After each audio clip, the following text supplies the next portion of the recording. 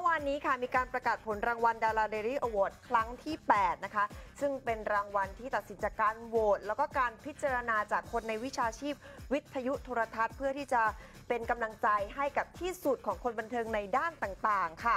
29 รางวัลนะคะ ส่วนณเดชคูกิมิยะค่ะ คว้ารางวัลดารานำชายสาขาภาพยนตร์ที่สุด แห่งปี 2018 จากนาคี 2 นะคะ มีณเดชน์แล้วก็ต้องมีญาญ่าอุรัสยาด้วยค่ะ นี่คว้าไปถึง 2 รางวัลค่ะ ก็คือดารานำหญิงสาขาภาพยนตร์ที่สุดแห่งปี 2018 จากเรื่องน้องพี่ที่รัก และรางวัลดารา popular vote ฝ่ายหญิงด้วยนะคะ สวยมากเลยนะคะ